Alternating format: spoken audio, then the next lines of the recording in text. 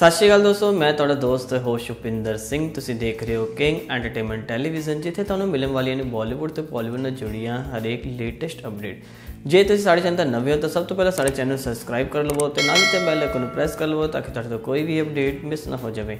ਹੁਣ ਤੁਹਾਨੂੰ ਲੈ ਕੇ ਚੱਲਦੇ ਹਾਂ ਅਤੀ ਮੇਜਰ ਅਪਡੇਟ ਵੱਲ।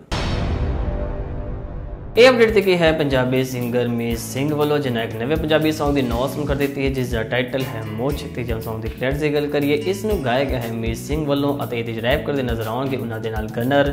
ਲਿਰਿਕਸ ਲਿਖੇ ਗਏ ਹਨ, ਉਦੇ ਸਿੱਧੂ ਵੱਲੋਂ 뮤직 ਤੇ ਗਿਆ ਹੈ JCD ਪ੍ਰੋਡਕਸ਼ਨ ਵੱਲੋਂ ਅਤੇ ਇਸ ਨੂੰ ਪ੍ਰੋਡਿਊਸ ਕੀਤਾ ਜਾ ਰਿਹਾ ਹੈ KP ਤ੍ਰੇਹਨ ਵੱਲੋਂ। ਤੁਹਾਨੂੰ ਦੱਸ ਦਈਏ ਇਹਦੀ ਹਜੇ ਰਿਲੀਜ਼ਿੰਗ ਡੇਟ ਅਨਾਉਂਸ ਨਹੀਂ ਕੀਤੀ ਹੈ, ਪਰ ਇਹ Song ਬਹੁਤ ਹੀ ਜਲਦ ਟਰੂ रेबेलियन म्यूजिक ਦੇ ऑफिशियल YouTube ਚੈਨਲ ਤੇ ਰਿਲੀਜ਼ ਕਰ ਦਿੱਤਾ ਜਾਵੇਗਾ। ਸੋ ਕੌਣ ਕੌਣ ਇੰਤਜ਼ਾਰ ਕਰ ਰਿਹਾ ਹੈ, ਮੀਤ ਸਿੰਘ ਦੇ ਇਸ ਨਵੇਂ ਪੰਜਾਬੀ Song ਮੁੱਛ ਦਾ ਸਾਨੂੰ ਕਮੈਂਟ ਸੈਕਸ਼ਨ ਵਿੱਚ ਜਰੂਰ ਦੱਸਿਓ। ਸੋ ਕਿਵੇਂ ਲੱਗੀ ਤੁਹਾਨੂੰ ਸਾਡੀ ਅਪਡੇਟ ਤੁਸੀਂ ਲਾਈਕ ਸ਼ੇਅਰ ਕਮੈਂਟ ਕਰਕੇ ਜਰੂਰ ਦੱਸਿਓ। ਅਤੇ ਜੇ ਤੁਸੀਂ ਵੀ ਸਿੰਗਰ ਰਾਈਟਰ ਐਕਟਰ ਜਾਂ ਫਿਲਮ ਇੰਡਸਟਰੀ ਨਾਲ ਕਿਤੇ ਨਾ ਕਿਤੇ ਜੁੜੇ ਹੋਏ ਹੋ ਅਤੇ ਤੁਸੀਂ ਵੀ ਆਪਣੇ ਇੰਟਰਵਿਊ ਕਿੰਗ ਐਂਟਰਟੇਨਮੈਂਟ ਟੈਲੀਵਿਜ਼ਨ ਤੋਂ ਕਰਵਾਉਣਾ ਚਾਹੁੰਦੇ ਹੋ, ਤਾਂ ਤੁਸੀਂ ਡਿਸਕ੍ਰਿਪਸ਼ਨ ਦਿੱਤੇ ਨੰਬਰਾਂ ਤੇ ਕਾਲ ਕਰ ਸਕਦੇ ਹੋ। ਤੇ ਨਾਲ ਦੇ ਨਾਲ ਸਾਡੇ ਚੈਨਲ ਸਬਸਕ੍ਰਾਈਬ ਕਰ ਲਵੋ, ਤਾਂ ਕਿ ਤੁਹਾਡੇ ਤੋਂ ਕੋਈ ਵੀ ਅਪਡੇਟ ਮਿਸ ਨਾ ਹੋ ਜਾਵੇ।